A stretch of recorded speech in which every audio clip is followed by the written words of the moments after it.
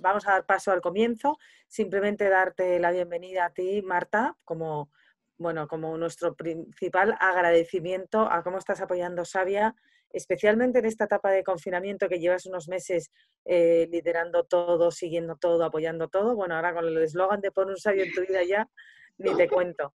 Pero es verdad que, nos viene muy bien todas las eh, recomendaciones, consejos, todo lo que podáis hacer. Entonces, bueno, a través de, de ti como, como, ponente hoy, Marta, eh, también decirle al resto de los sabios este mismo mensaje. O sea, cualquier cosa, cualquier sugerencia, cualquier propuesta que podáis hacer de mejora, de formaciones que podemos hacer, de evento que podemos organizar de manera digital ahora, pero presencialmente esperemos dentro de unos meses. O sea, cualquier cosa, ya sabéis que a través de la dirección de info, arroba generacionsavia.org, Estamos constantemente en comunicación con vosotros, en la comunidad, en el grupo de LinkedIn. Vamos, que seáis por favor todos lo activos posibles porque al final Sabia es la suma de todos los que formamos parte de Sabia con sus opiniones, propuestas y sugerencias para, hacerlo cada día más útil y que podamos cambiar las cosas en el mercado laboral como, como de verdad queremos.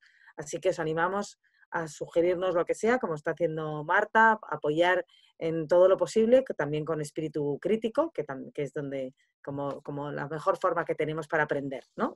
Entonces, eso sería un primer mensaje. Otro, deciros que mm, sigue abierto el concurso para las licencias gratuitas de aprendizaje de idiomas que tenemos con GoFluent, que nos ha cedido gratuitamente 50 licencias.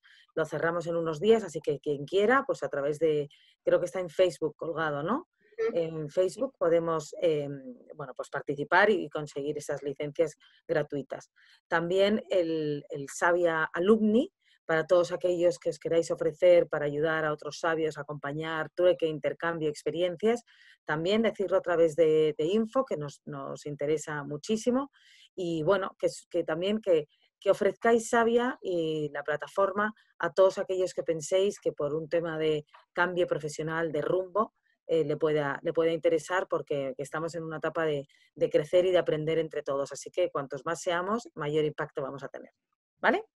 Ahora, Marta, vamos a presentarte a ti nuestro gran fichaje de los últimos meses, Marta.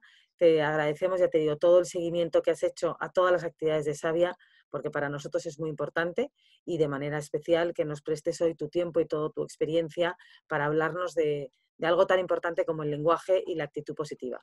Marta es, coach, está eh, además por el ICF, tiene, ha sido fundadora de, Humaniza Salud, con lo cual está, bueno, pues mucho tiempo de experiencia y muchas personas y muchos proyectos para acompañar a la gente en todo ese cambio y esa necesidad tan importante que tiene de, de unir las emociones y la actitud al lenguaje, que es un poco en lo que vamos a, centrar hoy la ponencia, como bueno, pues la, relación tan directa que tienen nuestros pensamientos, nuestras emociones, nuestra actitud con lo que transmitimos y cómo hay que cuidarlo todo eso hacia la marca personal, ¿no, Marta?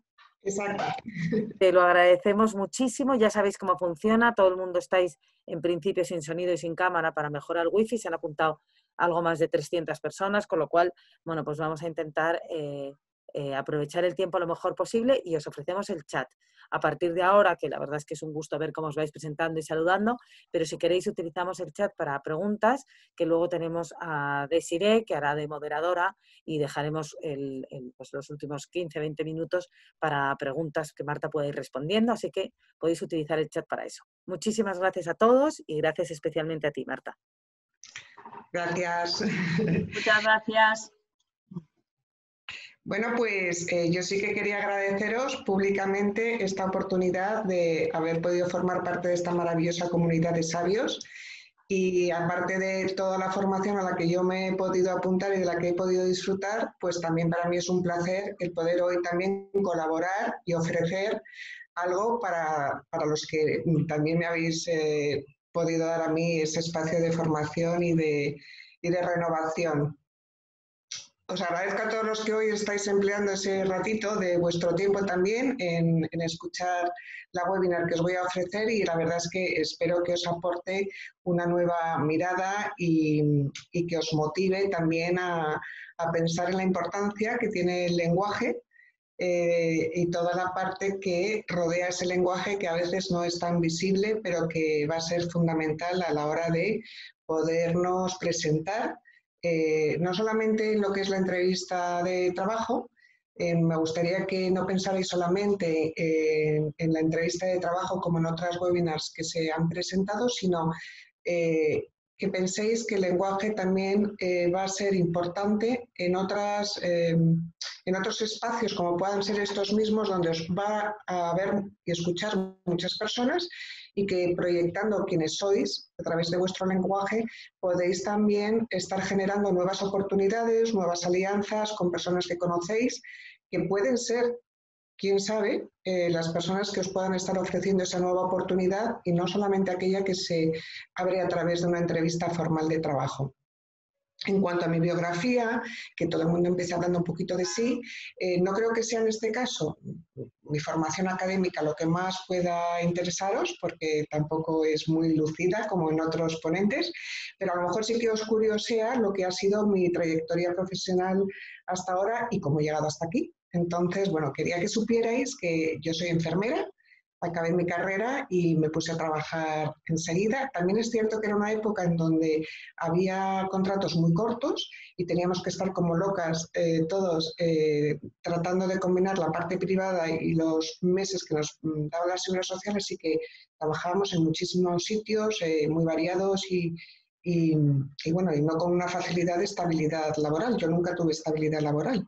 Eh, es más, estuve 15 años de interina, con lo cual no tenía mi plaza fija tan siquiera después de 15 años de experiencia. Pero antes de esos 15 años, en que todavía estaba siendo interina, se, bueno, pues se produjo una oportunidad de trabajar en una multinacional farmacéutica, Ligi Company, y fue casi por casualidad, la verdad, a través de una amiga mía, mi íntima amiga de carrera, nos presentamos y bueno, la verdad es que ella tenía más idiomas que yo, que era uno de los requisitos que pedían, pero bueno, tenía niños pequeños y finalmente pues fui seleccionada yo pues porque requería, tenía todos los requisitos que el puesto necesitaba, pues tenían, pedían a una persona eh, que fuera enfermera especialista en cuidados intensivos, que tuviera un, un dominio del inglés para aquella época, que ahora ya no serviría para nada, pero para aquella época mediano alto, que en enfermería tampoco era muy habitual, y disponibilidad de viaje.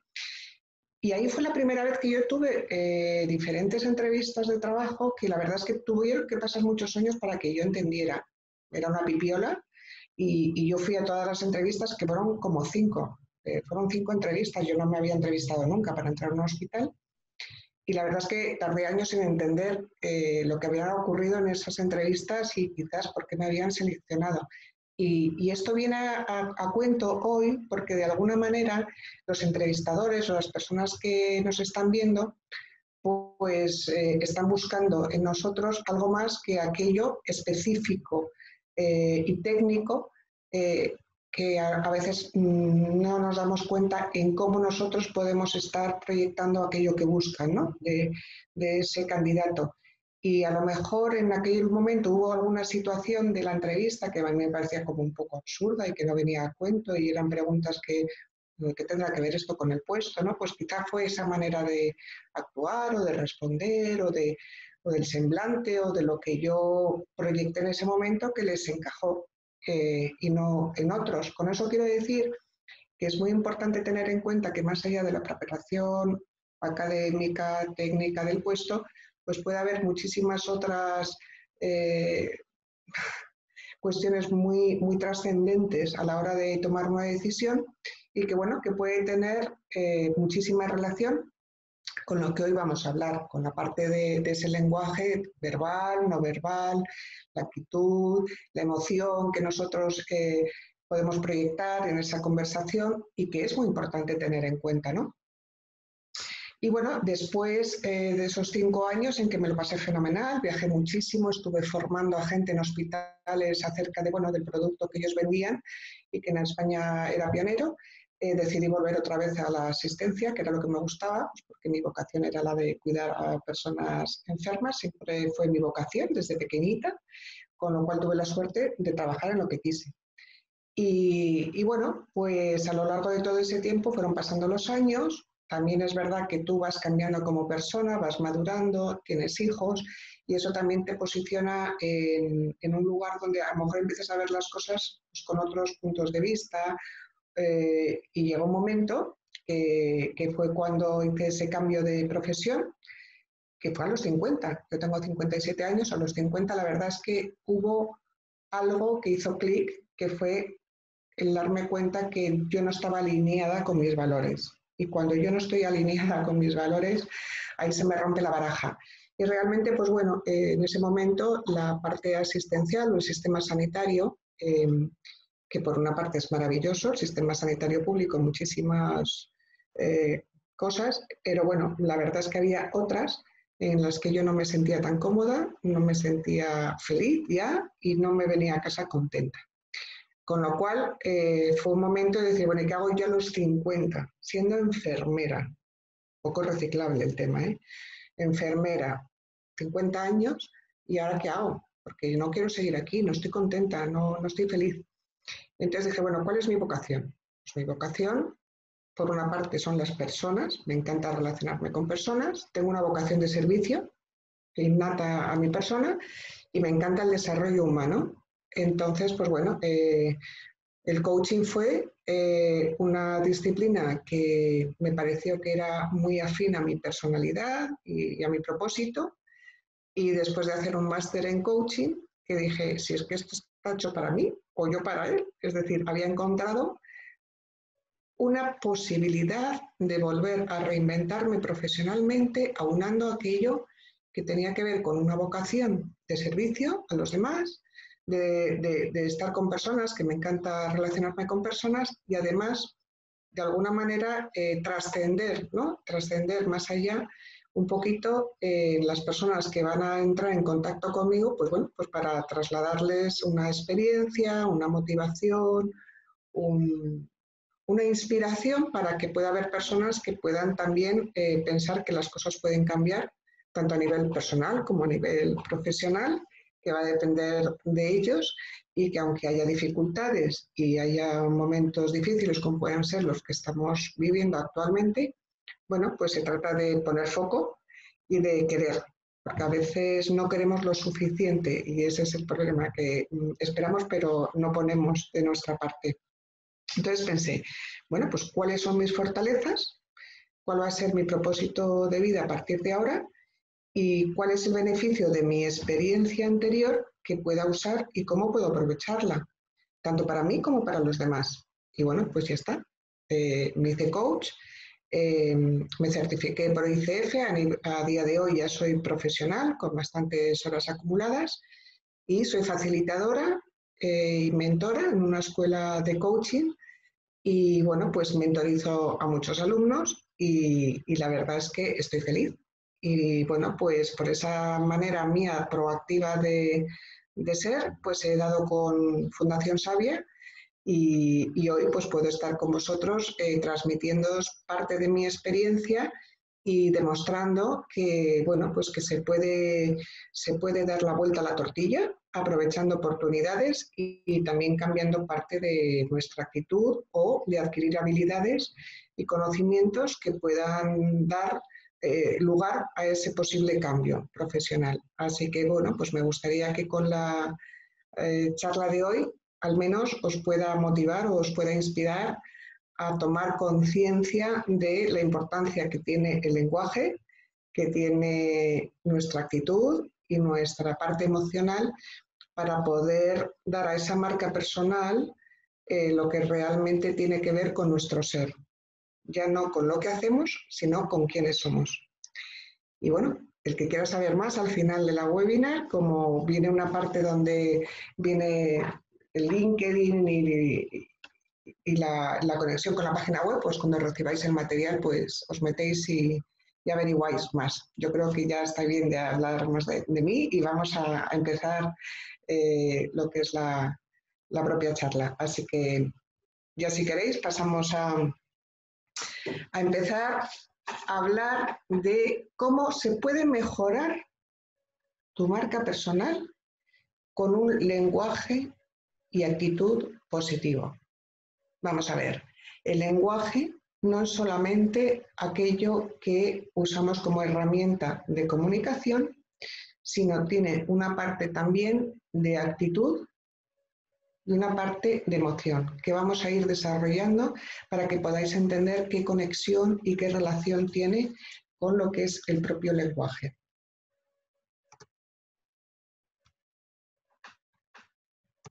A ver, quiero pasar la diapositiva. Estoy compartiendo pantalla. Marta, yo creo que simplemente con tus eh, con las flechas del teclado deberías de poder. Sí, pero no pasa. A ver, ¿por qué? Le estoy dando a la flechita que normalmente pasa la... Porque tienes que estar, eh, pero Marta, tienes que estar en tu propia PPT, no, no... ¿En la mía estoy? Sea, tú ponte en, tu, en, tu, en la PPT, no en la pantalla, y ahí es donde tienes que estar pasándola, para que se vaya reflejando los cambios que vas haciendo. A ver. Estoy compartiendo pantalla, ¿verdad? Sí, pero tú, tú ahora en tu escritorio, pincha en tu, propia, en tu, en tu propia presentación. A ver. Sí, ahora vemos tu ratón y no puedes ir pasándola. No, no se me pasa como otras veces. Qué raro. ¿Por qué? No lo sé. Perdonarnos un segundo, eh, que vamos a intentar solucionarlo. Ya lo siento. Nada, nada, no te preocupes, vamos a intentar mm, solucionarlo. Voy a quitar mi micro, a ver si puedo hacerlo yo un momentín, ¿eh? Vale.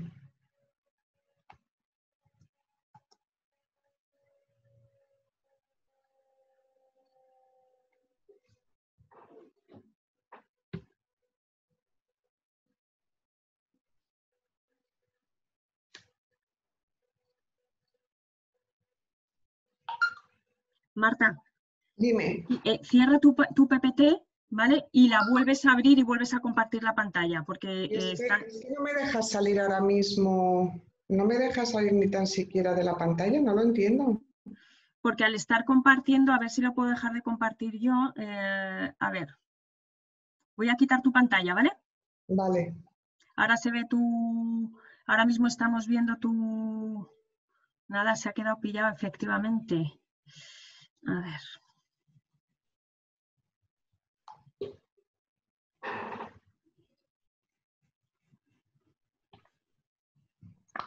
Nada. Voy a ver si me lo pueden solucionar por otro lado. Disculparnos, ¿eh? pero bueno, si no sigue y, ya, y luego ya les compartiremos. Sigue tu, tu, propia presentación, aunque no la vayan viendo los, los seniors, y luego ya se la vamos a compartir. Ya lo pondremos al día, no pasa nada. A ver, ¿ahora? No, estamos viendo... Eh, ah, ah, vale, vale, vale. Vamos a ver si iniciando tu vídeo otra vez. Em, ¿Tú ahora, ahora ves, sí? ¿Ahora? Ahora yo ya estoy en mi propia PPT. Vale, pero como hemos dejado de compartir... Eh, ah, vemos tu pantalla de Zoom. Tienes que elegir tu pantalla de, de PPT. A ver. Zoom reunión, compartir pantalla. Me dice, usted no puede reiniciar la función de compartir pantallas mientras el participante está compartiendo. Vale, ah, vale. Ahora vuelve a compartir tú tu pantalla, vuelve a hacerlo. ¿Compartir? ¿Sí? ¿Sí? Ahora ya. Ahora, ya está. Ya, está? Se había quedado pillado, sí, ya está. Y entonces, ¿ahora la veis bien? Sí, ahora vemos la segunda, la PPT de objetivos. Ahora en grande. ¿Ves? Sí, ya está. Perdonarnos. Bueno, todo tiene remedio. ¿eh? Bueno, pues vamos a, pensar que el lenguaje es una herramienta generativa.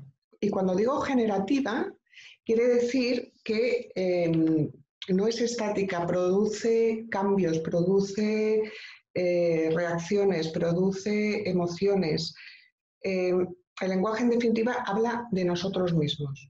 y de cómo interpretamos la realidad, cómo transmitimos las ideas, las emociones, las creencias y los sentimientos tal y como nos expresamos.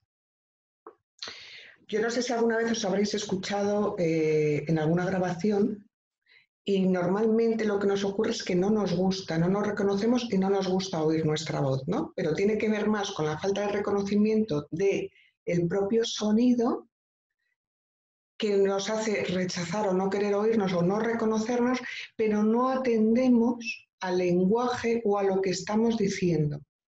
¿Os suena esto? Porque a mí me ha pasado, ¿no? Uy, uy, uy, no me gusta nada. Eh, eh, ¿Cómo sueno? Pero no analizo o no me fijo, no me paro a pensar qué lenguaje estoy usando y en el caso de escuchar, valorar cómo me sentiría yo escuchándome. Es decir, que, cómo, cómo esa, esa grabación, cómo está afectando al que escucha, ¿no?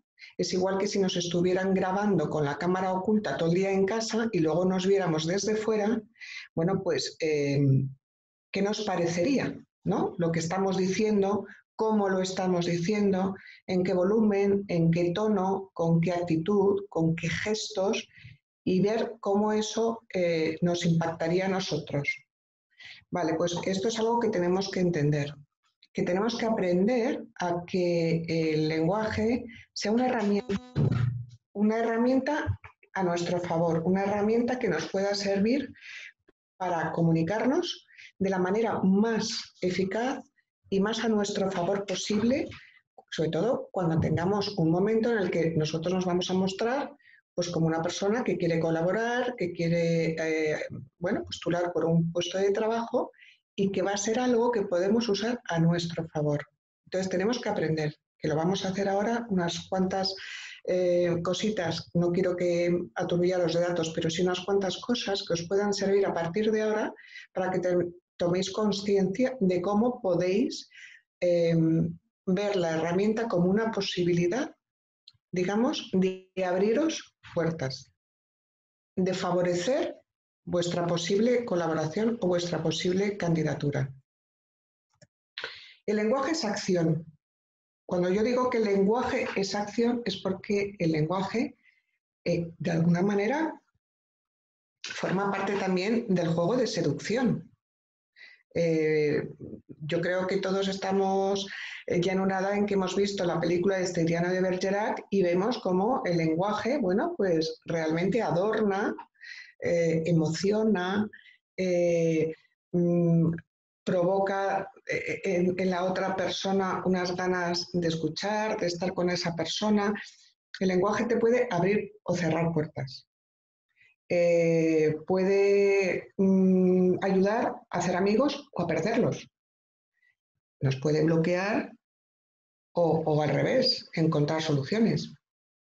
La vida diaria está llena, llena de conversaciones donde eh, se precede a unos actos que tienen unas consecuencias positivas o negativas y que incluso nos afectan al ánimo hasta el punto de que se puede llegar a somatizar pues, un malestar físico en función de aquello que hemos escuchado de aquello que hemos oído. Muchas veces nos hemos venido a casa realmente con un malestar físico, más que anímico además, por una conversación, por un lenguaje de un superior, de un jefe o incluso de un compañero. Nos ha afectado. Es decir, que el lenguaje trasciende más allá de lo que es en sí porque provoca reacciones.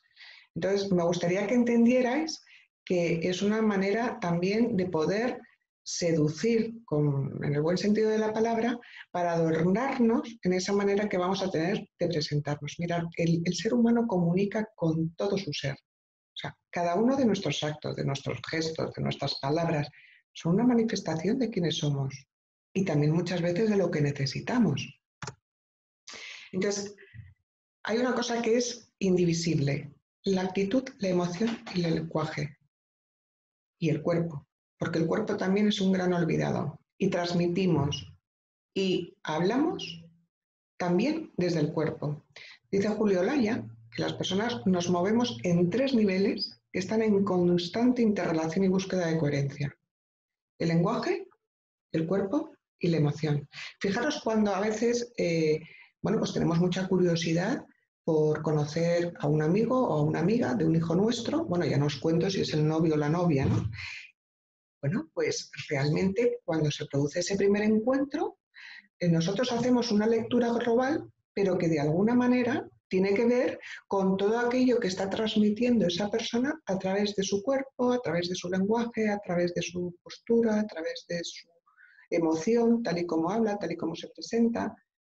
Bueno, pues todo esto eh, lo tenemos que tener en cuenta en nuestro caso para que cuando tengamos una entrevista o un entorno donde se pueda favorecer el que haya una alianza, el que haya una posibilidad de generar una colaboración, porque no quiero que os llevéis toda la entrevista de trabajo, no solo la entrevista de trabajo, sino tener en cuenta que en una conversación donde os estáis presentando ante personas que también pueden estar en una situación laboral, pues que a lo mejor se puede generar una colaboración tal y como vosotros os estéis explicando porque generéis eh, esa, esa mm, emoción positiva en el otro, es decir, esta persona me interesa, una persona así, eh, pues me gustaría que pudiera ser una compañía eh, para generar algo en conjunto, porque tal y como habla, tal y como se expresa, tal y como se mueve, tal y como se presenta, bueno, pues me da buen feeling. Es una persona que, genera, bueno, que, que, puede tener un potencial que, que ya veremos después qué hacemos, pero en principio es una persona que me encaja, en principio es una persona tal y como habla, tal y como se expresa, tal y como se mueve, que me genera una emoción, pues bueno, a favor, ¿no? Entonces, estas, estas tres dimensiones eh, son realmente muy importantes para que esté en coherencia, porque ya podemos ver cómo eh, bueno, pues eh, tenemos muchos ejemplos a día de hoy, cuando realmente no nos llega el mensaje de un representante, eh, me da igual si político, de cualquier otro tipo que vemos en televisión, porque hay algo que no es coherente entre lo que dice, cómo lo dice, su cuerpo, hay algo que no llega. Mientras que cuando hay una persona coherente con su discurso, con su lenguaje, con su parte emocional cuando lo dice, pues realmente se la cree. ¿Te gustará o no te gustará? ¿Estarás de acuerdo o no estarás de acuerdo? Pero sí hay una coherencia, ¿no? Mira, eh, gran parte de lo que sucede en una conversación tiene que ver con ese espacio emocional que se crea, ese punto de conexión entre el mundo emotivo y el lenguaje que nosotros usamos tiene que ver con los juicios que hacemos.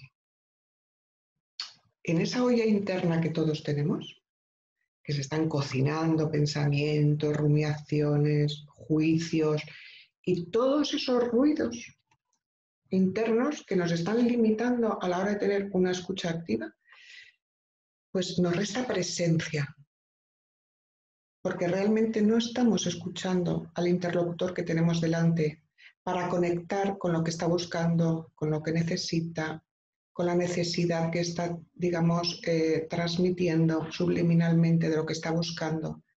Entonces, es fácil que nos podamos dejar llevar por esa emoción y ese ruido, bueno, pues va a afectar a ese lenguaje no verbal, a nuestra actitud, a la respuesta. Imaginaros que ahora mismo se ha producido pues, eh, este lapsus ¿no? de desconexión. A mí me afecta porque, bueno, pienso, ay, qué inoportuno, vaya, mm, justamente ha tenido que pasarme a mí hoy.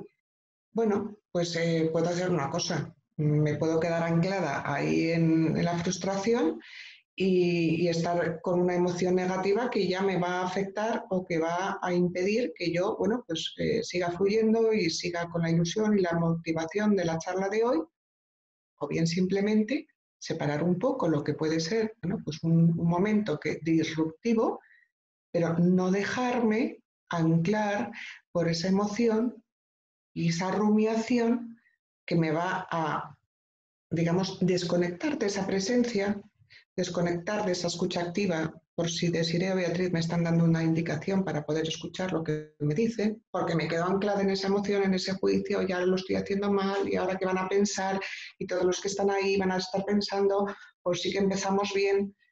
Si nosotros damos lugar a todo ese ruido interno y nos dejamos llevar por toda esa parte eh, que se produce del lenguaje interno que tenemos, mm, no vamos a ser capaces de conectar con lo que tenemos que transmitir, con lo que tenemos que expresar, con lo que tenemos que mostrar.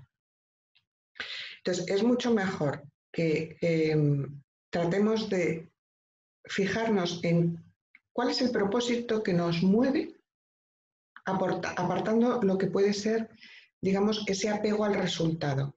Me explico. Em, si queremos mejorar nuestro lenguaje, el exterior con el que nos vamos a comunicar, nos decía antes de ayer, estuve yo escuchando una webinar de Jesús Goldero, ¿no? Sobre lo que son los diferentes eh, momentos de lo que pueda ser una entrevista. Y él decía eh, la importancia que tiene el ensayar, ensayar, ensayar ese, ese speech, ¿no? Ese pitch elevator que se dice ahora de lo que queremos transmitir, de lo que queremos comunicar, pero con independencia de lo que nos pueda eh, venir del juicio que podamos estar haciendo del interlocutor que tenemos delante o de que no nos está gustando como nos está hablando o nos parece que no nos gusta, apartarlo, dejarlo a un lado, seguir pensando en qué es lo que os mueve a vosotros a hacer y a estar ahí, cuál es el propósito que tenéis y no estar pensando en el resultado. Es decir, mm, yo puedo tener miedo a que puede haber una interpretación de que no ha empezado la conexión bien y de que no ha empezado bien. Si, eso me estanco ahí, no sigo. Deja de pensar en lo que van a pensar, si les va a gustar, si no les va a gustar, qué es lo que van a pensar, y simplemente anclate en cuál es el propósito que tú tienes de comunicar, el de compartir, el de disfrutar, el de abrir una puerta, el de poder aprovechar una oportunidad y ya vendrá el resultado, pero de momento céntrate y centra tu lenguaje en aquello que realmente es el propósito que te mueve a tener esa conversación.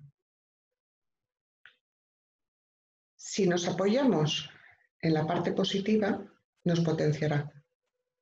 Si nos centramos en la parte negativa de ese juicio, de esa rumiación que hacemos, eh, nos va a desequilibrar nos va a paralizar y nos va a perjudicar. Entonces tenemos que eh, tratar de anclar una emoción positiva que nos aporte serenidad y distanciarnos de ese momento preciso en el que estamos que nos puede enturbiar esa emoción. Tú sales con la emoción de querer comunicar tu experiencia, lo que sabes, lo que puedes aportar, lo que te gustaría encontrar y dejas el momento de la situación que te pueda enturbiar o que te pueda distanciar, de expresarte con el mejor lenguaje, transmitiendo de la mejor forma, manteniendo esa actitud con la que tú has salido de casa y muy enfocada a lo que tú quieres comunicar. Fijaros que los periodistas, cuando están haciendo las preguntas ¿no? a los políticos, y da igual las preguntas que hagan muchas veces. El político sigue con la respuesta que quiere transmitir y sigue RQR con el mensaje que quiere contar y le da igual la pregunta que le haga y la pregunta es impertinente, pero ellos ni se perturban. Ellos a su mensaje. Bueno, pues un poco dentro de, bueno, eh, de la justa medida, tratar de manteneros en el centro, tratar de mantener vuestro mensaje con el mejor lenguaje posible, para que nada os pueda distraer en esa entrevista porque puede haber efectivamente a día de hoy, sobre todo, mm, formas de lo más originales de hacer una entrevista que nos puedan descentrar y que se me ha desmontado todo el chiringuito. Ya no sé lo que ahora mismo con esta pregunta que me han hecho o con esto que se les ha ocurrido y ahora qué hago. Pues tú seguir, seguir adelante, seguir adelante con lo que tú mm, quieres contar, de lo que sabes hacer, de la trayectoria profesional que te avala, de la experiencia que tienes y de lo que quieres contar. Porque si te descentras con ese juicio, con ese pensamiento negativo, con ese descentre a raíz de una pregunta, em, el lenguaje eh, ya no va a ser el mismo. los juicios em, pueden o bien ayudarnos y potenciarnos o bien limitarnos. ¿Qué tengo que pensar? Bueno, ¿cómo quiero yo moverme de la manera más positiva posible? ¿Esos juicios que yo tengo sobre mí mismo me van a ayudar? ¿Me van a potenciar o me van a limitar? Pues tendré que pensar que aquellos juicios que no me ayudan y que me limitan a la hora de pensar que yo soy un buen candidato, que yo soy una buena opción, apartarlos de mi mente primero. Porque todo lo que está dentro mío lo voy a proyectar. Sin embargo, si realmente aquellos juicios que tengan una valoración positiva de mi persona, en primer lugar, como ser humano, y después de mi trayectoria profesional y de mi experiencia, voy a anclarlos para tener en cuenta que soy una persona válida, con una experiencia, con una formación, con un potencial y que con independencia de si ahora estoy o no en activo, yo soy una persona que tengo valor. Da igual que ahora mismo no esté trabajando por las circunstancias. Eso no quiere decir que yo no sea válido. Que el mercado ahora mismo tiene otras exigencias o tiene otras prioridades, vale, bien. Muchas personas a las que yo he escuchado estos días lo que dicen es, bueno, ¿y tú quieres trabajar? Para esa empresa que pone todas esas pegas, a lo mejor a ti no te interesa y no quieres perder el tiempo con alguien que ya va a ponerte, eh, digamos, la pegatina de eh, te pasas de, cierta edad. Es que a lo mejor en otro sitio lo que precisamente van a priorizar es todo ese capital experiencial que tú tienes, todo ese recorrido vital que también forma parte de la experiencia, que no tiene que ser solamente tu carrera tus másters, tus títulos, sino lo que la vida te ha enseñado y lo que la vida te ha aportado para ser hoy quien eres. Con lo cual a lo mejor resulta que tienes que ser tú la que elijas con quién trabajar y aliarte con personas que prioricen y que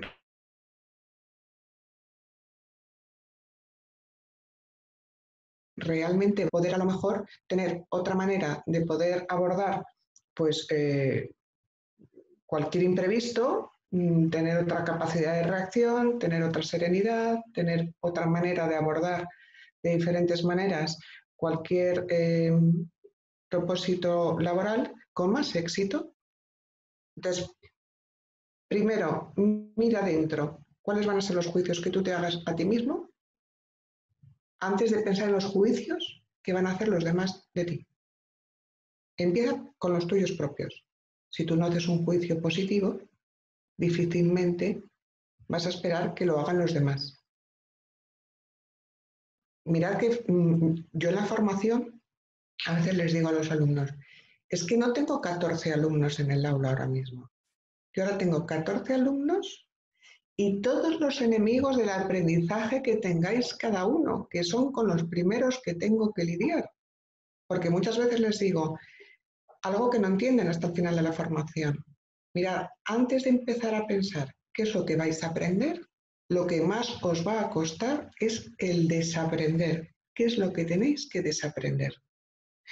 Y muchas partes de eso tiene que ver con los enemigos del aprendizaje. No, yo es que yo ya soy muy mayor para eh, aprender esto. Ah, vale. ¿Y quién te lo ha dicho? ¿En qué te basas? ¿Cuántos amigos tienes de tu edad que han hecho otra cosa? Por ejemplo. O confundir el aprendizaje con información. Cuanto más información adquiera, estoy aprendiendo más. No, depende de lo que vas a hacer con esa información. Puedes acumular muchos webinars, puedes acumular muchos títulos. ¿Y ahora qué hago con ello? Entonces, los juicios que tenemos nosotros mismos son los que más nos van a limitar a la hora de buscar un trabajo, a la hora de poder buscar oportunidades que los que puedan tener los demás. Y ahora viene el rumiar de cada uno que pueda estar escuchando. Sí, sí, claro, tendrías que estar de acuerdo. Todo eso ya sabemos lo que está fuera, pero ahora lo que tenemos que apoyarnos en lo que está dentro. ¿Quiero ahora mismo diseñar un nuevo futuro? Vale. Pues entonces voy a poner encima de la mesa todos esos juicios que me estorban y me voy a quedar con los que realmente pueden ser aquellos que me ayuden a cruzar ese puente que veis. Con ese maletín vamos hacia adelante y con la mochila de detrás a lo mejor es la que tenemos que soltar y con lo que tenemos que desaprender. Las conversaciones privadas son muy importantes porque la mente humana es una máquina que no para de estar produciendo pensamientos, conversaciones y a veces sobre cosas que no pasan nunca. O sea, la mayor parte de las veces nos ponemos en escenarios que ni tan siquiera van a, darse. ¿eh? En el y sí, y sí, y si me dicen, y si me preguntan, y si entonces dudan de por qué he estado este tiempo sin eh, trabajar, lo decía también Jesús Coldero el otro día, pues puede haber explicaciones más que de sobra para poder eh, dar una explicación. Y, además, bueno, pues si no gusta, pues oye, eh, otra cosa mariposa, porque todos tenemos derecho a poder pasar un momento de estar en una situación de estar pensando que queremos cambiar y que nos tenemos que formar y que tenemos que dedicar un tiempo a formarnos para poder abrir otras posibilidades o bien nos hemos tomado un tiempo para descansar o cuidar a un familiar. Entonces, todas esas conversaciones privadas también van a tener que ver un poco con esos juicios que nos hacemos y que nada nos van a ayudar. Esa conversación con nosotros mismos la debemos de trabajar antes de acudir a la entrevista o antes de ir a esa reunión donde vamos a poder estar con personas que puedan a lo mejor en su día eh, darnos una oportunidad laboral. Tenemos que ensayar, lo decía Jesús Goldero el otro día, tenemos que ensayar. Y como el cerebro muchas veces no distingue la verdad de la mentira, esa conversación privada la tenemos que tener muy bien armada primero dentro de nuestra cabeza antes de ir a esa entrevista. Porque fijaros que la autoestima es el elemento básico que se proyecta en cualquier forma de comunicación. Y ahí es muy difícil engañar. Porque tal y como tú te hables a ti mismo, vas a generar un condicionante positivo o negativo en tu emoción. Y eso se va a reflejar en tu, en tu porte, en tu mirada, en tu lenguaje. ¿Cuántas veces habéis tenido la oportunidad de estar del otro lado y de ver a una persona que dices, que ha pocado, ¿no? O que o no me mantiene la mirada, o parece huidizo. Bueno, pues casi siempre tiene que ver con la autoestima y con la conversación privada que tiene consigo mismo. Nadie le está mirando mal, nadie está pensando que no vale, nadie está pensando que no es lo suficientemente válido en el trabajo, pero su autoestima se proyecta y esa conversación privada da lugar a un comportamiento que termina generando pues, el rechazo o el que se le vea como una persona abocada o que no va a dar la talla en un momento determinado. Y todo tiene que ver con la autoestima y con la conversación privada que se genera en su cabeza que va a proyectar una manera de estar y un comportamiento, por eso os digo que el lenguaje es acción, que va a tener una consecuencia. Y esto es muy importante tenerlo claro, que hay un trabajo previo, previo que no solamente tiene que ver con el currículum vitae, esencial aprender a tenerlo bien presentado y ahora mismo hemos tenido oportunidades de poderlo eh, comprobar, que hay que actualizarlo, que hay que saber tener un currículum para cada puesto a lo mejor, lo que decía el otro día Jesús también, de tener la versión corta, la versión larga. Entonces, si trabajamos todo eso, trabajamos en LinkedIn, trabajamos las redes sociales, trabajamos todo lo que tiene que ver hoy en día con una marca personal, y nos olvidamos del lenguaje. Claro, mm, los colores de tu página web eh, habrán estado muy bien elegidos. Eh, en la letra que pongas en tu página web mm, le habrás dado muchas vueltas. Habrás en el LinkedIn investigado sobre las keywords que se dice para que realmente sean las que coincidan con los motores de búsqueda y que esté alineado con lo que tú ofreces. Eso es muy importante. Pero no nos podemos olvidar también de lo importante que es tener muy preparado antes cuál va a ser ese lenguaje, esa conversación interna, para luego nosotros realmente podernos proyectar y podernos comunicar de tal manera que generemos en el otro una impresión positiva. Sabemos que la primera impresión es muy importante y es lo primero que transmitimos, la emoción. Entonces, tenemos que optimizar esa primera impresión. En cuanto a la comunicación verbal, hay una parte que pertenece al discurso. Y en ese discurso hay un contenido. Vale, pues preparémoslo. ¿Qué deseamos trasladar de manera clara y concreta? Porque las personas que hablan mucho y que se enredan mm, en, un, en una verborrea como, como que no terminas de ver exactamente todo lo que está contando y cuenta muchas cosas, eh, no aporta claridad. Y la persona también desconecta y deja de escuchar. Entonces, en nuestro discurso, el contenido de lo que queremos trasladar, que sea un contenido claro y concreto.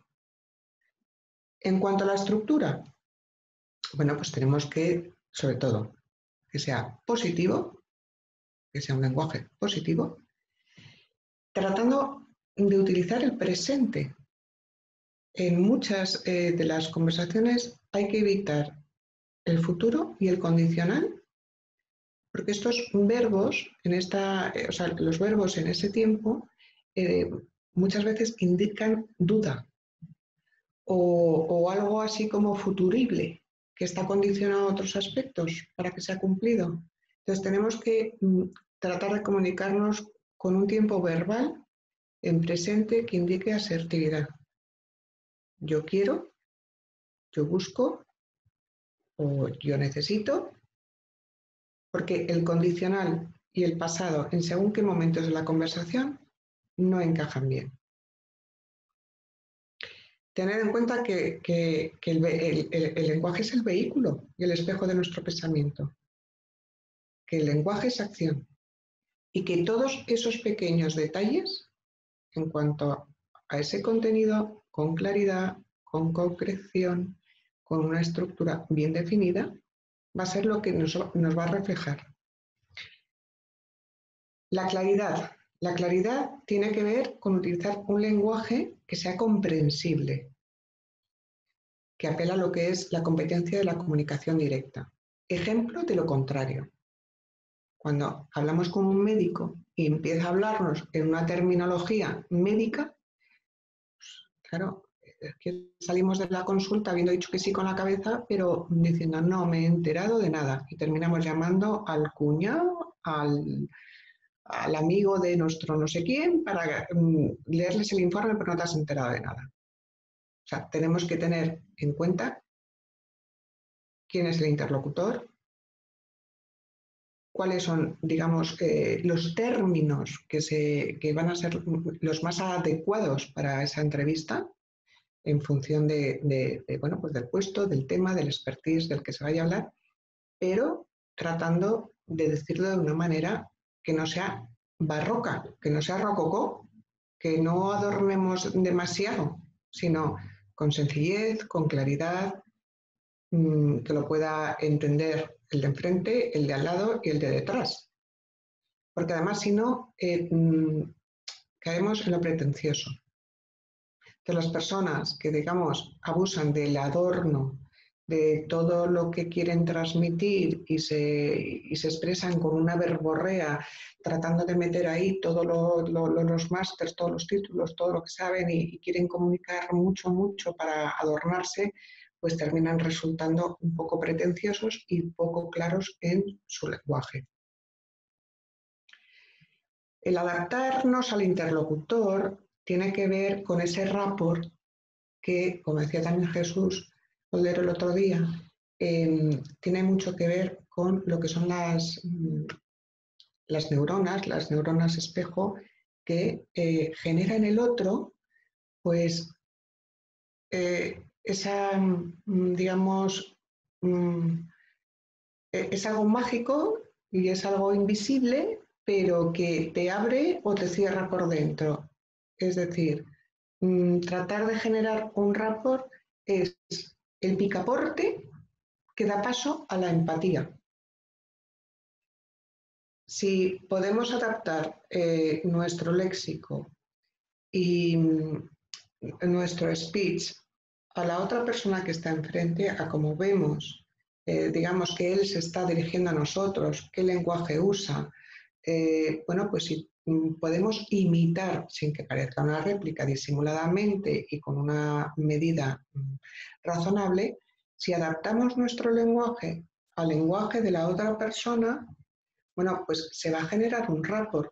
El rapport tiene que ver con esa parte invisible que da lugar a esa otra puerta más allá, que es la empatía, de decir, ay, mm, hablamos el mismo idioma, nos estamos entendiendo, sabe de lo que hablo, sabe eh, a dónde voy, entiende lo que yo estoy buscando. Y en cuanto al uso de la voz también, porque la voz tiene volumen, tono, vocalización y silencios. Si te encuentras con una persona muy enérgica al otro lado de la mesa, que te habla en un volumen muy alto porque es su volumen, y tú le contestas así, taimado y tal, pues ahí va a haber algo que no va a encajar. O por el contrario, es una persona que tiene un volumen de voz bajito, y tú entras con un chorro y una potencia de voz, pues se va a sentir un poco invadido, va a haber una diferencia que tampoco eh, va a favorecer que la comunicación, digamos, se reciba bien, de la, misma manera que el tono. El tono eh, es un poco, bueno, pues esa parte que ponemos las personas que de algunas nos gusta y de otras no nos gusta y a veces no sabemos por qué, pero hay tonos de voz de personas que nos es más afín que otras.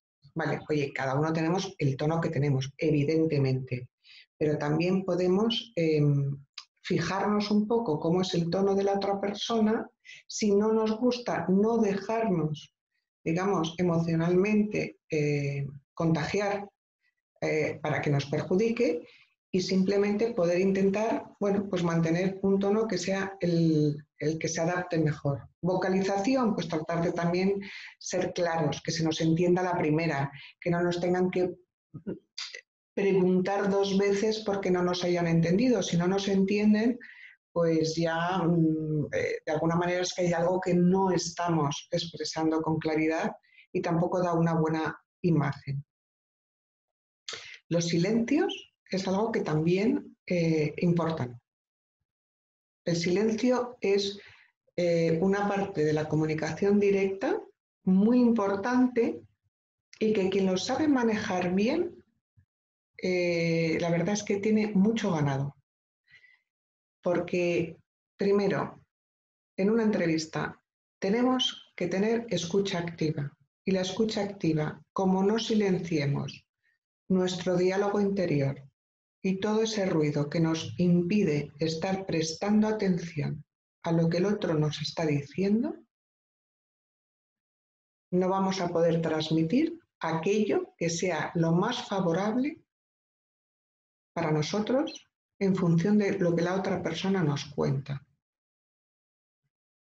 El silencio se tiene que dar en una conversación de tal manera que no hablemos al mismo tiempo que la otra persona. Hasta que la otra persona no ha terminado, nosotros no empezamos a hablar.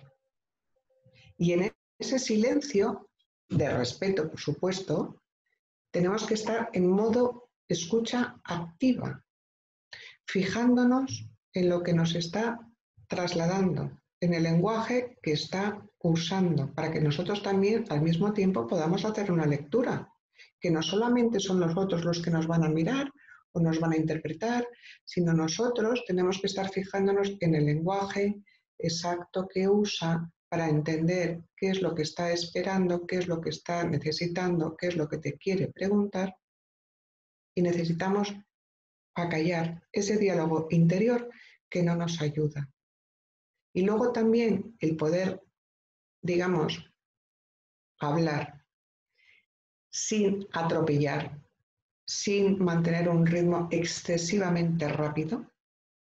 El poder hablar, pero introduciendo de vez en cuando pausas a un ritmo que sea agradable de escuchar y que no nos resulte invasivo de la misma manera que tampoco resulta, eh, digamos, una, no, da una buena imagen una persona que habla con monosílabos o que hay que ah, sacarle las eh, palabras del cuerpo. Entonces, ahí tenemos que ser muy equilibrados con la otra persona cuando estemos hablando para callar cuando el otro habla, dar un espacio, asegurarnos de que ya ha terminado para empezar a hablar nosotros, atendiendo a qué es lo que ha dicho para que venga a cuento lo que nosotros vamos a empezar a hablar, pero también con esas pausas de silencio que resulte agradable y que resulte serena la conversación.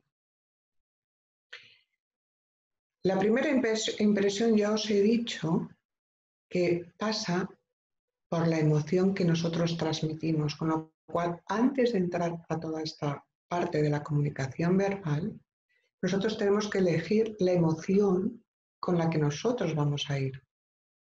Tenemos que elegirla deliberadamente. Porque si nosotros vamos a ir con la emoción que traigamos de prisa, de nervios, mm, de duda, de inseguridad, eso va a ser lo primero que vamos a transmitir. Y de hecho, nosotros lo hacemos infinidad de veces. O sea, nosotros también hay personas que cuando aparecen por la puerta transmiten con su porte esa primera impresión de esa emoción que esa persona de alguna manera traslada. Entonces, hay personas que, lógicamente, con la sonrisa ya, con la primera sonrisa que traen en la cara, ya te apetece. Ya es una persona que es agradable de ver. ¿Por qué? Porque sonríe, entonces, la sonrisa es algo que también se agradece. La persona que sonríe es mucho más agradable a la vista que la persona que está demasiado seria. Entonces, una cosa es la formalidad, pero la sonrisa o el semblante de la cara también va a, a trasladar esa emoción que nosotros podemos elegir previamente. Tiene mucho que, ver el lenguaje que utilizamos en la manera de comportarnos después y de pensar. Y si ahora os vais al escenario familiar, ¿no? Pensad en esos, eh, tengo que ordenar el cuarto. Cuando hablas del tengo que, ya va a ser más fácil que no lo hagan al decir voy a ordenar el cuarto. No, sí, ya lo haré. ¿Lo haré cuándo? No es lo mismo que me pongo a ello. En el ya voy, ya voy, ¿no? Eh, que conocemos tanto en casa. Bueno, pues eh, tenemos que aprender que todo aquello que nosotros deseemos, como no haya una acción, se queda en fantasía. Si al sueño, además, añadimos acción, tiene muchas más posibilidades de convertirse en una realidad. Con lo cual, el lenguaje que tenemos nosotros va a influir también en la manera en que nos vamos a comportar de cara a esa posible acción que nos puede llevar a una consecuencia que nos va a aportar una oportunidad o que no nos va a a dar la oportunidad porque lo vamos, digamos, procrastinando, lo vamos dejando para más tarde, para más tarde, para más tarde. Es decir, pues de la misma manera tengo que, sí, sí, tengo que dar una vuelta al currículum, porque la verdad es que hace mucho tiempo que no, le, no lo he actualizado. Bueno, pues el tengo que mm, posiblemente pase una semana y pasen dos y no nos pongamos a revisar lo que hemos oído el otro día de que hay que tener una versión corta y hay que tener una versión larga. Pues oye, voy a ver cómo está y me voy a poner. Me pongo a ello. Entonces, toda esta manera de lenguaje que tengamos lo tenemos que revisar, porque va a influir. Si nosotros constantemente estamos diciendo, bueno, ya, quizás sí, bueno, espero que, bueno, la verdad es que tengo que, pues al final eso no se va a llevar a una acción. Mientras que las personas que hablan con un voy a, me pongo a ello, quiero, es más posible que eso se traduzca en una acción que te va a ayudar a que algo tome forma, tome cuerpo y se convierta en una realidad y deje de ser una posibilidad. Las palabras tienen poder, mucho poder. Nos permiten lograr una conexión con las personas. Generan un vínculo inconsciente con la otra persona. Generan sinergias positivas que van a ayudar a influir y también potencian la escucha activa. Tenemos que entender que si nos expresamos con un lenguaje más positivo y más constructivo, tenemos más posibilidades de atraer. Tenemos que seducir a la audiencia, tenemos que seducir a nuestro público, tenemos que seducir a nuestros votantes, pero tenemos que seducir a nuestro posible empleador, a nuestras posibles personas que nos puedan presentar a personas que digan, mira, esta persona que he conocido me parece que puede encajar con fulanito, que yo creo que a lo mejor en el proyecto que tiene le va a ir fenomenal. Vale. No es una entrevista formal, pero sí vas a generar un ánimo y una posibilidad de que haya una persona que piense en ti en un momento dado cuando vea la posibilidad de poderte presentar a alguien con el que puedas llevar a cabo cosas juntos, con el que te puedas unir, con el que puedas colaborar, con el que puedas, bueno, pues, oye, juntar fuerzas, unir fuerzas para dar mayores posibilidades de salida laboral. Dentro de ese lenguaje, eh, las distinciones lingüísticas son maravillosas. Las distinciones lingüísticas a mí me gustan mucho. Fijaros la diferencia que hay entre la persona que habla de un problema a la persona que habla de un desafío. Fijaros la diferencia. yo ahora tengo el desafío de poder buscar una oportunidad nueva laboral en una realidad totalmente diferente. A ver cómo me pongo las pilas, a ver qué tengo que aprender, a ver con quién hablo, qué habilidades puedo aprender que se están demandando qué desafío. Ahora, si tú mismo hablas de problema, pues ese problema al final va a terminarse convirtiendo en un problema mayor, porque lo llevas interno, en la palabra. Tengo un problema. Bueno, tengo una situación no favorable. Por supuesto, es una situación poco favorable. Pero el poco favorable para una persona puede ser precisamente un reto, un desafío puede ser justamente lo que le activa decir, bueno, pues yo me voy a poner las pilas, me voy a remangar y voy a ver de esto qué es lo que puedo hacer para posicionarme delante del que viene detrás, que se ha quedado con el problema. Hay muchas distinciones que son muy bonitas y una de ellas que yo uso mucho en el coaching tiene que ver con víctima responsable. Hay personas que están continuamente instaladas en la queja. Entonces están adoptando el papel de víctimas. ¿Qué están haciendo? ¿Qué haces con esa queja? Todo está en el exterior, todo depende de los demás. ¿Vale? Está el responsable que ante la misma situación dice, vale, en lo que depende de mí y en lo que yo puedo aportar, ¿qué voy a hacer? ¿Qué está en mi mano poner? ¿Qué está en mi mano cambiar? ¿Qué está en mi mano, e incluso el pedir ayuda, por supuesto, para mejorar. Bueno, pues aquí, por ejemplo, también las distinciones de entre hacer una observación o hacer una evaluación.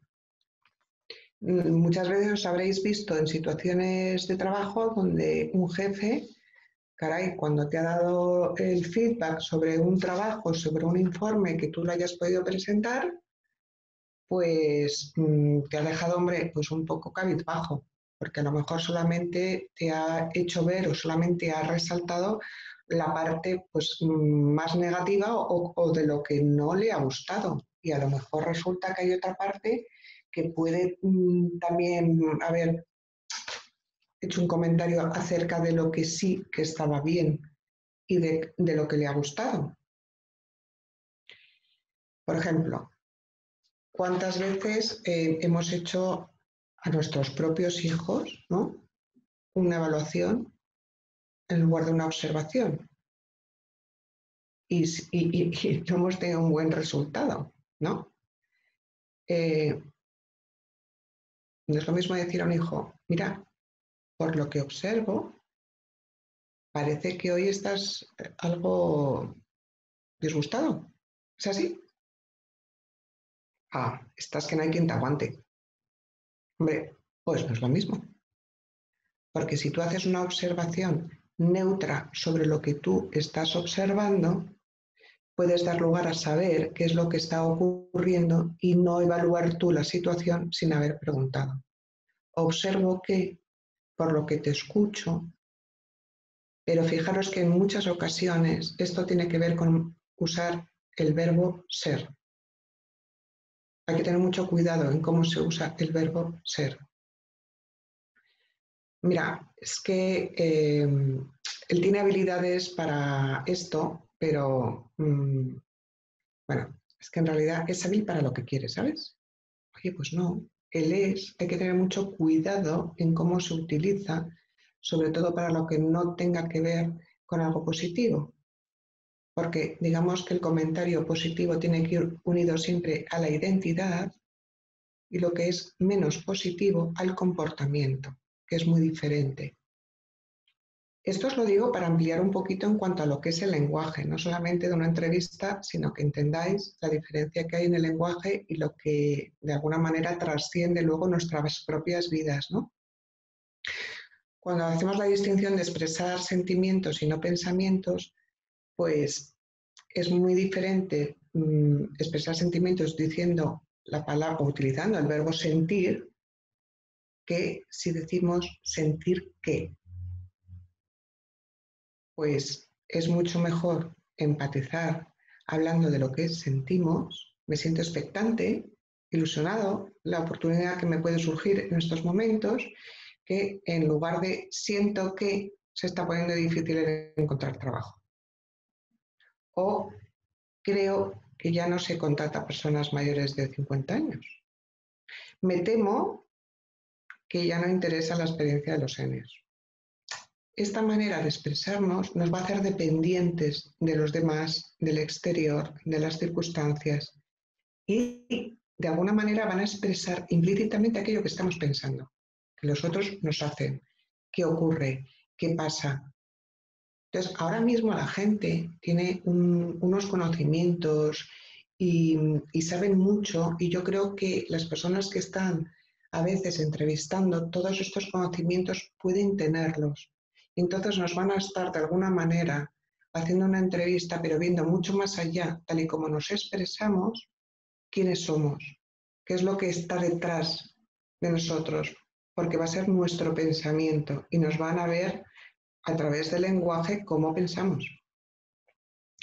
No es lo mismo identificar necesidades que estrategias.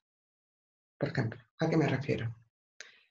Tenemos que pensar a la empresa donde vamos qué es lo que necesita, qué es lo que valora, cuál es la necesidad que tienen que cubrir. Porque si lo tenemos perfectamente identificado, podemos pensar que esa empresa necesita un colaborador puntual para un proyecto en concreto y entonces mm, no vamos a ir con el discurso a lo mejor de para asegurarle, digamos, tranquilidad y fidelidad en el puesto, no, no, si yo no estoy ya para ir cambiando de empleo.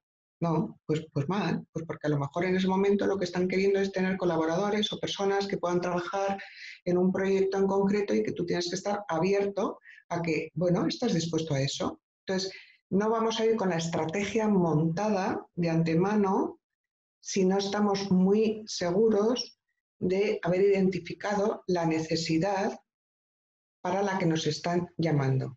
Tenemos que identificar primero la necesidad antes de montar la estrategia por nuestra parte, no sea que estén en contraposición.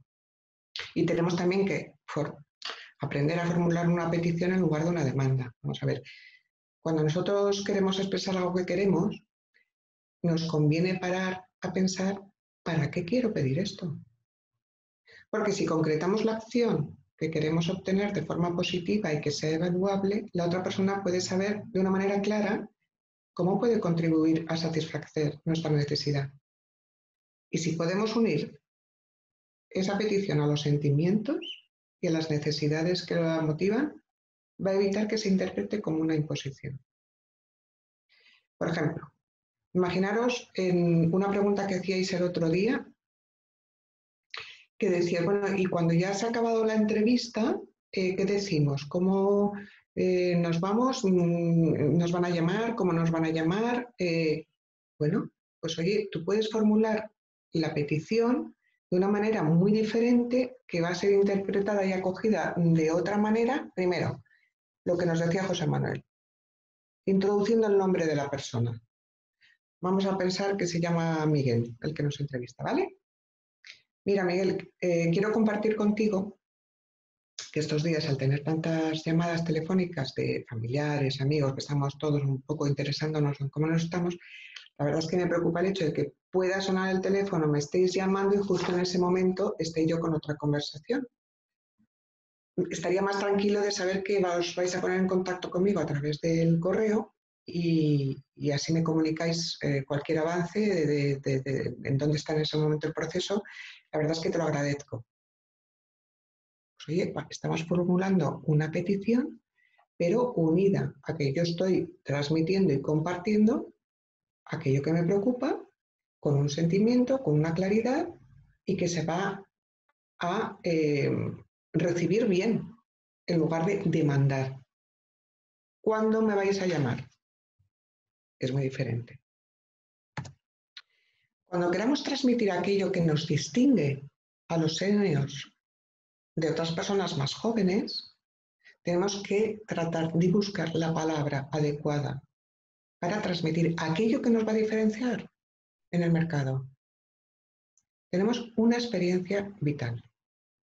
Tenemos un concepto de la ética muy, muy arraigado. Somos perseverantes. Mostramos un respeto y tenemos, digamos, muy ensayado eh, las distintas fórmulas de trato en función de la persona con la que estemos, porque sabemos diferenciar, porque lo hemos mamado. Tenemos otra perspectiva de las cosas por la edad. Estamos curtidos y tenemos algo muy importante que tenemos que saber vender muy bien, el saber estar. El saber estar no se compra. El saber estar no se estudia. El saber estar se ha aprendido a lo largo de una época en la que nos han enseñado los mayores a saber estar. Y eso es algo que nos distingue. Tenemos que saber explotar aquello que nosotros, precisamente por ser seniors, juega a nuestro favor el respeto que sabemos tener, la perseverancia, todo aquello que nos va a favorecer. Por las preguntas, las preguntas son muy importantes, las preguntas nos dan mucha información. Tenemos que estar muy pendientes de las preguntas que nos hacen. ¿Cómo nos las hacen? ¿Nos hacen una pregunta abierta? ¿Nos hacen una pregunta cerrada? La pregunta cerrada no nos da opciones solamente nos permite decir sí o no. Mirad a ver, o mirad, no, escuchad a ver cuál es la pregunta que nos hacen cerrada. Y al contrario, cuál es la pregunta que nos hacen abierta. Las preguntas abiertas generan opciones. Y vamos a ir acabando ya, teniendo en cuenta también que hay una parte del lenguaje no verbal importante y que esa la tenemos que trabajar también sonrisa, contacto visual, actitud y postura. Eso también es lenguaje. Un lenguaje no verbal, pero que nos distingue. Y ya hemos llegado al final. Y ahora te pregunto cómo vas a reinventarte a ti con la ayuda de tu lenguaje. Y con esto ya creo haber finalizado lo que os quería compartir. Espero que haya sido motivador. Muchísimas gracias, Marta, por la, gran ponencia que has hecho. Eh, si te parece, pasamos a, las preguntas que nos han ido haciendo en el chat eh, para ir respondiéndolas. Y José nos, eh, perdón, Martín nos preguntaba sobre si nos puedes dedicar unos momentos a tratar cómo resolver conflictos, malos entendidos, discusiones, etcétera, sobre todo cuando el interlocutor se muestra agresivo. Entiendo, sobreentiendo que eh, cuando el interlocutor se muestra agresivo y no sabemos a qué se debe, lo mejor es preguntar. Yo creo que se nos olvida preguntar. Entonces, lo mejor es primero saber si se debe a algo que tiene que ver con nosotros o si se debe a algo externo a nosotros, porque a veces eh, nos adjudicamos erróneamente que esa, digamos, eh, mm, conversación agresiva tiene que ver con nosotros y a lo mejor no tiene que ver con nosotros y viene de otro sitio. Entonces, lo mejor es preguntar, ¿hay algo eh, que te haya afectado? ¿Te, pasa algo? Me parece observar que a lo mejor, no sé si estoy en lo, en lo cierto, te noto, observo que estás un poco más alterado de lo normal pero siempre dando lugar a que te lo corrobore, no, no, dándolo por hecho. Me parece, observo por lo que te escucho, no sé si es cierto, ¿te ocurre algo hoy? A lo mejor te dice, pues sí, es que acabo de discutir con no sé quién, y a lo mejor te dice, perdona, la verdad es que venía, pero corroborar, preguntar, para no adjudicar a nosotros, que es contra nosotros, y no estar haciendo ese juicio interno que nos pone a la defensiva y que también nos hace a nosotros estar más agresivos. Preguntar. y eso, sobre todo cuando es una persona que nos está entrevistando y notamos a lo mejor cierto tono que no conocemos, claro, pero sí que percibimos cierta hostilidad, que no podemos preguntarle, ¿no? No tenemos esa confianza. Pues mira, yo no soy experta en entrevistas, como todos vosotros, precisamente, mm, porque soy una enfermera y me han hecho contratos sin entrevistas, pero cuando pasaron los años pude llegar a entender aquellas entrevistas que en su día no entendí, pero que también estaba tan pichi, era joven, no, no me jugaba nada, y, bueno, creo que precisamente fue por eso a lo mejor por lo que me dijeron, porque no estaba a la defensiva.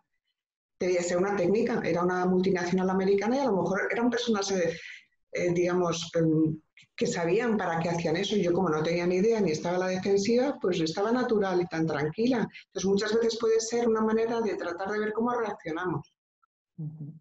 Y cuando, en el caso contrario, que nos pueden traicionar los nervios ante un posible entrevistador, ¿cómo podemos aplacarlos un poco para que el lenguaje no nos delate o no nos titube eh, el tono de voz? Se me ocurre que lo mejor es contarlo y decirlo. O sea, yo creo que una vez que tú expresas lo que te pasa con el otro, vas a generar una empatía, vas a ser auténtico y la otra persona va a entender que estás nervioso. Entonces, yo ahora mismo, cuando me ha pasado esto que no daba tecla, pues claro, no me gusta, ¿no? Pero es mucho mejor decir, me he puesto nerviosa, disculpadme, ¡Qué horror! ¿Cómo lo estoy pasando de mal? ¿Qué vais a estar pensando? Es mucho mejor expresarlo y compartirlo que el otro lo va a entender. Discúlpame, perdón, a lo mejor necesitas un momento para respirar. Disculpa, vengo súper nerviosa, la verdad. Es que me vas a disculpar si me ves que titubeo un poquito, pero eh, estoy nerviosa. Eh, eso va a generar empatía. Si eso lo dices con una sonrisa, un poquito con una sonrisa, eh, yo creo que el otro lo va a entender, ¿no? Desde luego que sí. Eh, nos pregunta Bernie, en los trabajos donde no siempre se usan las mejores maneras, especialmente cuando se está bajo mucha presión, se suelen saltar mucho estas reglas. Es verdad mm. que temas como la mediación de conflictos dentro del entorno organizacional cuesta un poco, ¿no? Al final un tono se sale de otro, alguien habla más brusco, el otro lo interpreta mal aquí en la comunicación entre equipos es muy importante y no siempre se trabaja. Pues es cierto, pero fijaros, os voy a decir, como yo no tengo vuestra experiencia profesional, porque tengo otro perfil, muchas veces yo en las formaciones, oye, recurro a escenas familiares, que son igual de buenas. O sea, entonces, muchas veces yo el sentido del humor a mí me ha salvado de muchas escenas, porque, hombre, yo he estado en situaciones profesionales muy duras, yo he estado en servicios muy duros, he estado en hematología, donde se hacen trasplantes medulares y la verdad es que, bueno, la mayor parte de la gente que, bueno, situaciones horribles de hospital, de UCIs y demás, ¿no? Entonces es verdad que hay muchos nervios, hay veces que las emociones también no juegan a nuestro favor, pero a veces el sentido del humor ah, es un alivio. Y, en ese sentido es verdad que yo he trabajado con personas a lo mejor como más del sur, que daba gusto, porque era como que daba otra chispa y decía las cosas de otra manera o de pronto cambiaba completamente el panorama con algo que no tenía nada que ver. Y entonces era como que, y ya la gente se ha reído y ya como que se ha distanciado, ¿no? Cuando tú recurres a algo que no tiene nada que ver con la situación, ¿no? Entonces de repente que todo el mundo es como, ¿qué ha pasado? Desde luego. El sentido del humor es una muy buena herramienta. Muy, muy buena. Y mano izquierda también. José Luis nos pregunta, eh, en una entrevista de trabajo en ocasiones nos piden opinión o punto de vista sobre un determinado tema o cuestión. En estos supuestos, claramente habrá que pronunciarse, transmitir nuestro pensamiento y hacerlo con seguridad y convencimiento, ¿no? Sí. Yo creo o sea que entiendo que el lenguaje se puede trabajar mucho, es una herramienta poderosísima a nuestro favor si la sabemos manejar, pero desde la autenticidad. Todo lo que es impostado al final huele. O sea, desde la autenticidad. Porque mira, yo en la formación tengo perfiles que me dan mil vueltas con carreras, con másters que saben muchísimo más que yo y siempre les digo, oye, lo que yo sepa de mi experiencia de lo que yo domino responder, estaré encantada. Y de lo que no sepa, os diré, no lo sé. Puedo buscarlo, pero en esto mm, la verdad no te sé contestar. Voy a buscar información o voy a, a, ponerme en contacto con alguien que sepa de este tema más que yo y te lo hago llegar desde la humildad y desde la autenticidad. Yo hay una cosa que es de las que más eh, yo personalmente admiro o me gusta o con las que o con las personas con las que yo realmente me siento mejor es con las personas humildes. Y la humildad no tiene que saber, no tiene que ir relacionada con saber menos. Yo creo que las grandes personas y las grandes personas que se merecen toda la admiración, todo el respeto tal que tienen y han llegado muy lejos, me gustan las que son humildes. Entonces, yo creo que la autenticidad y la humildad a la hora de conversar, a la hora de trasladar tu realidad, tus opiniones, tus cosas, con, humildad y con autenticidad. Todo lo impostado, a mí no, me gusta. Pregunta Mapo, algo creo que un poco difícil. ¿Cómo nos quitamos los pensamientos negativos? Uh, pues yoga, ¿no? Pues yo creo, veréis, yo creo que eh, no se trata tanto de quitar, que es imposible en el sentido que es, es automatizado, o sea, que estamos continuamente pensando, ¿vale? Estamos continuamente pensando, haciendo juicios que no nos vienen bien en muchísimos casos. Lo importante es tomar conciencia y aprender a escucharnos a nosotros mismos y decir, oh, qué poco me estoy viniendo bien hoy. Yo muchas veces, como cualquiera, hay días que amanezco con un pensamiento negativo, oye, de que discutí eh, con alguien o a nivel familiar y estoy con ello y tal, y, y esto me beneficia hoy, pero me escucho. Si no me escucho, si no aprendo a escucharme y a darme cuenta de que ese pensamiento y ese juicio no me está haciendo bien emocionalmente o no me aporta nada, tengo más posibilidades de poder, como digo yo, meter el caballo de Troya es una manera muy efectiva. Meto el caballo de Troya con una emoción totalmente opuesta y entonces esa te desplaza a la anterior porque no puede haber dos emociones, digamos, contrapuestas que cohabiten. Es imposible. Entonces, tengo ese pensamiento, tengo ese juicio interno que no me potencia, que no me viene bien, meto el caballo de Troya con otra cosa que me empodera, que me chuta, que me y me lo desplaza. Pero para eso tengo que estar atenta y yo tener una escucha activa a mi propio rumiar. Como no lo puedo evitar, meto el caballo de Troya y entonces meto otra cosa que me distrae y entonces se desplaza un poco. Sí. Nos pregunta María si el propósito de una entrevista puede ser enamorar al entrevistador o eso es un resultado? ¿O no podemos tener un propósito que dependa de la otra persona? Pues mira, yo creo que el lenguaje tiene mucho de seducción. Tiene mucho de seducción. O sea, indudablemente hay comunicadores, ¿no? Que lo tienen de, natura, es decir, no es impostado. Hay personas que, son comunicadores y que les gusta hablar en público, pero si además, si además eh, tienen, digamos, un, un, buen trabajo, por ejemplo, Obama, Obama yo creo que ha sido una persona con independencia de que entienda su política o que seas afín a lo que él decida, pero como comunicador es una persona que ha sabido, yo creo, transmitir lo que tenía que decir de tal manera y con una parte muy estudiada y muy elaborada, donde ha enamorado. No, no, no, no creo que Trump pueda enamorar ni persuadir ni, ni, a nadie.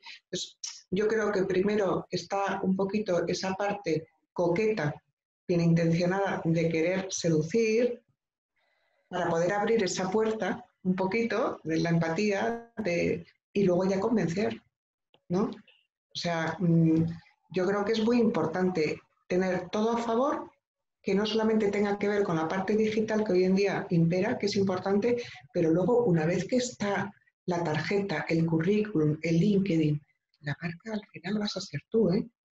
Y eso, eso lo tenemos que tener muy claro. Yo siempre lo digo. O sea, yo ahora mismo tengo que aprender todo eso que, que, yo no sé, que estoy aprendiendo con vosotros y que lo tengo que trabajar muchísimo más y que hay que hacerlo porque a día de hoy es importante. Pero vamos a ver, luego la marca eres tú. Y la marca va a ser tu persona, tal y como te expreses, tal y como te comuniques, tal el lenguaje. Una persona que utiliza un lenguaje negativo todo el tiempo, no es una persona, por mucho que sepa y haya estudiado, que quieres tener en tu equipo o en tu empresa. Prefiero una persona con apertura, con predisposición, con un talante que diga esta persona se va a poner las pilas, va a aprender lo que necesita, que se lo vamos a, a facilitar, pero esta persona es un cohete. Porque claro, hay personas que son cohetes y hay personas que son plomos.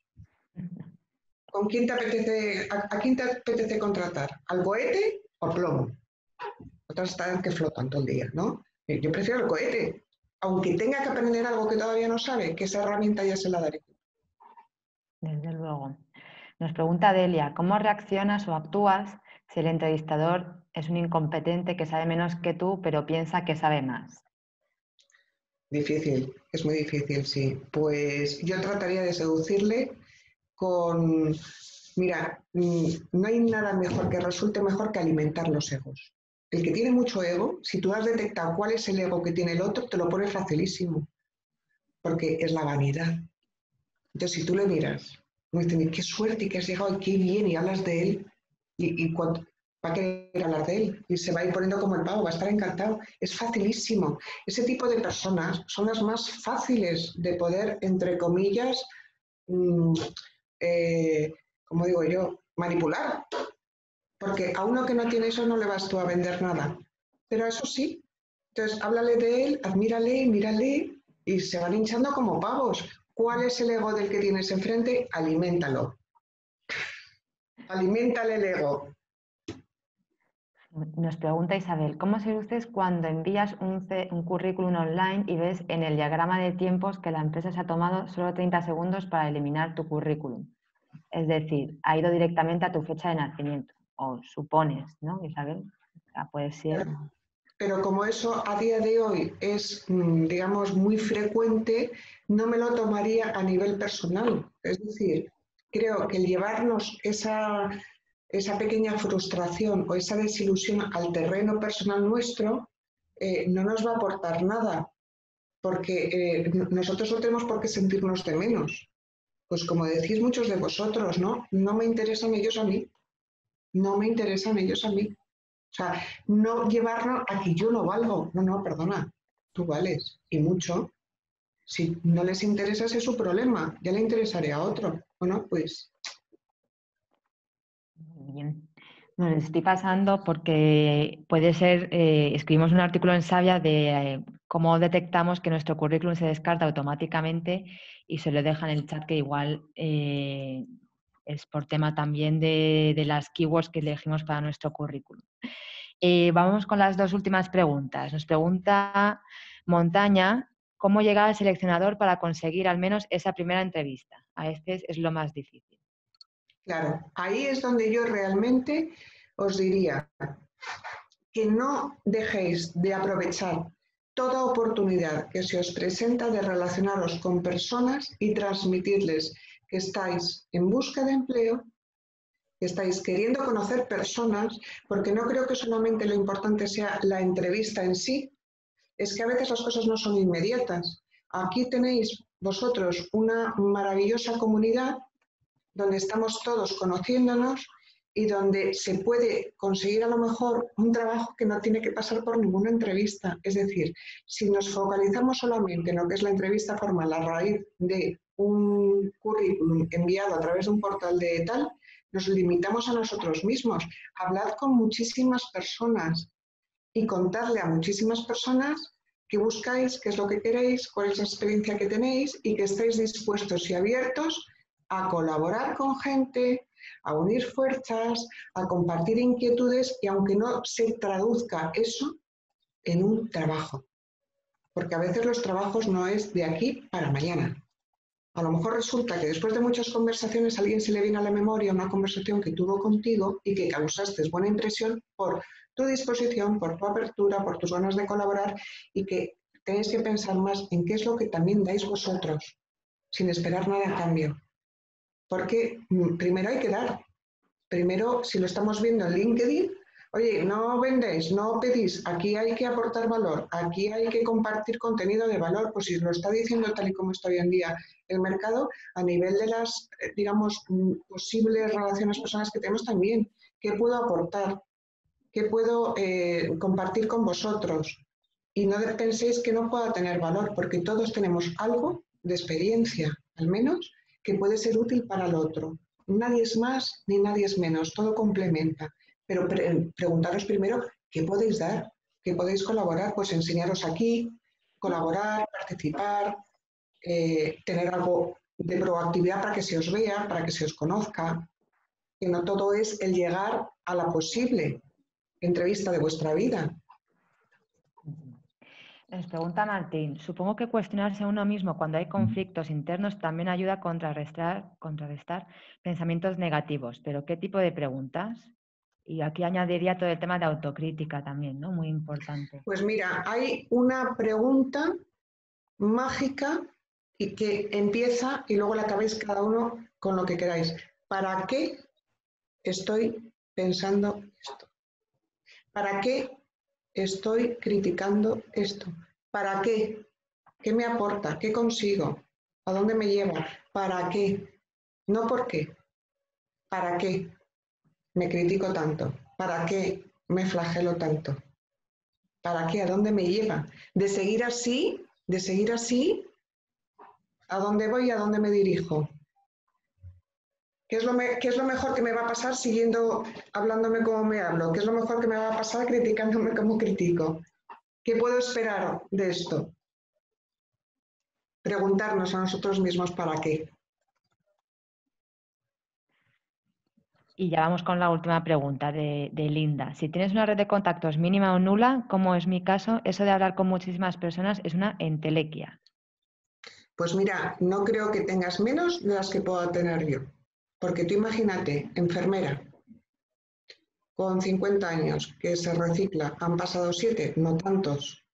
Y mm, ahora mismo en la Fundación Sabia, ¿cuántos somos? 2.000, ¿no? 20.000. 20.000. Ahí hay 20.000 personas, no es una entelequia. No es una entelequia, 20.000 personas no es una entelequia. Es lo que tú quieras hacer con lo que tienes. Es lo mismo que la formación. Puedes tener muchas formaciones muchas webinars y qué haces luego con ellas. Entonces, me parece que el networking es cuestión de aprovechar las oportunidades que se te presentan, porque yo no creo que tú tengas ningún inconveniente en decir, mira, eh, eh, mi perfil es este, de las personas que están aquí, ¿cómo puedo yo eh, enseñarme? ¿Cómo puedo yo decir que estoy aquí? Participa en una webinar. ¿Cuántas estamos hoy? 118. 118 contactos tengo hoy que no tenía ayer. Entre otros, tú, la que me pregunta. Tú eres un contacto nuevo para mí.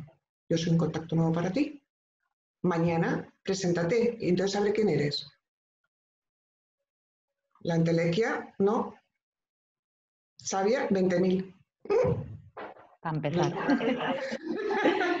pues muchísimas gracias, Marta.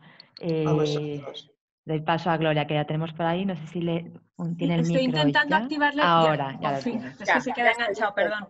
Sí, es que veía que me había, me había entrado con vídeo, pero nada. Bueno, Marta, muchísimas gracias, de verdad. Yo creo que, bueno, lo que era nuestra expectativa de cómo fusionar la importancia de, de lo que es la actitud, los pensamientos, para luego comunicarlos, nos ha quedado especialmente claro, bueno, en tu caso práctico, porque ante los inconvenientes realmente hemos podido salir y así es lo que en el día a día nos ocurre a todos, así que importantísimo.